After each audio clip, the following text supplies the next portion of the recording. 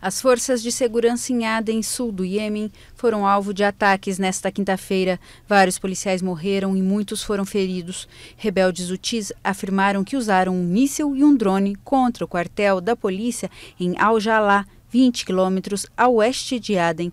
O general Munir al-Yafi está entre as vítimas fatais, informaram fontes das forças de segurança. Poucos minutos antes, um atentado suicida com carro-bomba foi executado na entrada do quartel-general, localizado no bairro Sheikh Othman, centro de Aden.